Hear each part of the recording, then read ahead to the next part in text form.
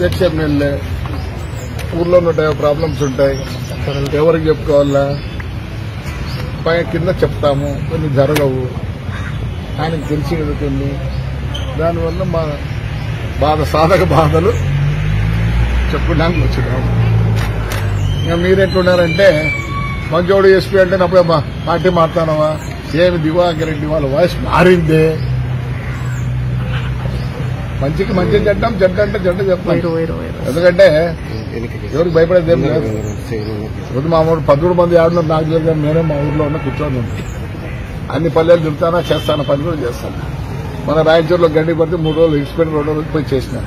ఎందుకంటే that is my constituency ఏమే నన్ను పెంచి పోషించిన కాన్స్టిట్యున్సీ కాబట్టి నేను ఎవరికి భయపడాల్సిన పనిలే అది కాక ఇప్పుడు ఉండే మా అక్కడ కార్యకర్తలు కానీ ఎమ్మెల్యేలు వాళ్ళేం వేరే వాళ్ళ మీద ఏం లేదు.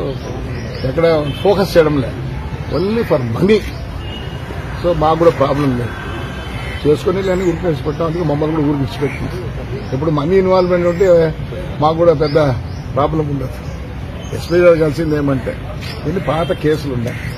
సార్ సంవత్సరం నుంచి ఉన్నాయి. మీరు దాన్ని దయచేసి స్టాచ్యూట్ ఫైల్ చేయండి. ఆయన లాస్ట్ మంది ఇచ్చినాడు మా చెప్తున్నా ముందే ఈ ఎస్పీనే లేకపోయింది. అంటే మళ్ళీ మీరు ఏమంటారు? ఏమంటారు?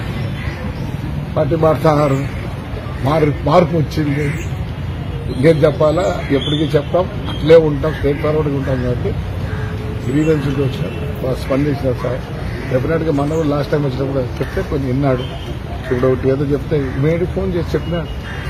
అందుకోసం I have very much faith in very much faith in ఈయనే లేకపోయింటే తెలుగుదేశం కార్యకర్తలందరూ ఊర్లు ఇచ్చిద్దరు బాగా నరికి పెట్టింది కొట్టి.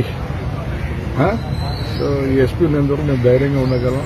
ఈ ఊరు ఆరోగ్యం దృష్టి తాడిపత్రి ఇది తెలుగుదేశం కార్యకర్తలు కూడా ధైర్యంగా ఉండదు అది చెప్పొచ్చు సార్ ఇప్పుడే పోతే ఇంకా రెండేళ్ళు మూడేళ్ళు ఉండాలి సార్ అని చెప్పొచ్చు. చెప్పండి ఇంక మీరు చెప్పు. మీరు ఇది వేరే వస్తారు చెప్పండి. ఇది ఇది. ఇది ఆ? ఎట్లబ్బా? ఉదయం చెప్తే ఒకటి లేదు చెప్తే ఒకటి.